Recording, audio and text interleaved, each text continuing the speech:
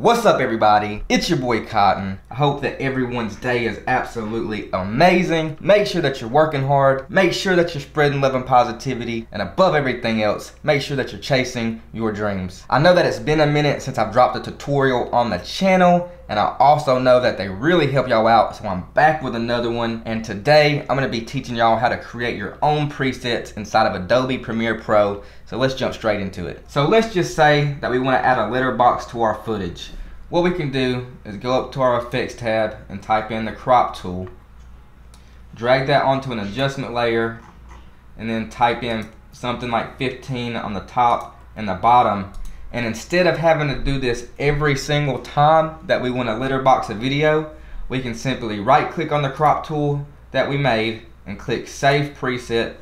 And then you're going to title it whatever you want. So I'll just type LB for letterbox and click OK. Now all we have to do to add a letterbox to any other video is find that LB preset that we made and drag it onto the adjustment layer and now we have a letterbox video. Making presets will definitely save you a whole lot of time and just make your life a lot easier when you're editing videos. So let me show you something else that you can do by making presets. So say, just like the letterbox, we like the color that we made for this video. So here's the raw footage, here's it colored. What we can do if we like this color look and we want to apply it to more projects, all you got to do is right click on the Lumetri, save preset, I'll name it something like cool blue. Click OK. Delete this. And then anytime I want to use that color, I can go to my presets tab, type in cool blue, drag it on the adjustment layer, and then I have that color on any other project that I want to apply it to. Alright, so the last thing that I'm going to be showing y'all is how to save multiple effects into one preset and it's pretty much just as easy as making any other preset.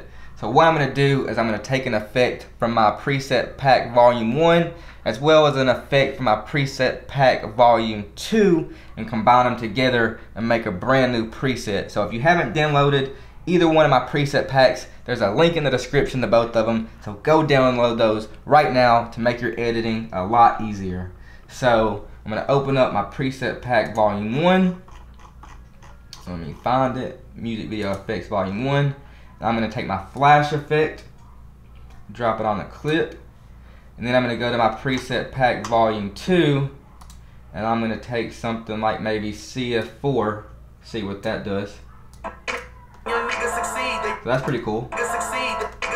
So all you would want to do to save this as a brand new preset is click and hold control and select everything that you just dragged onto your clip. So I'm holding control and I'm selecting everything.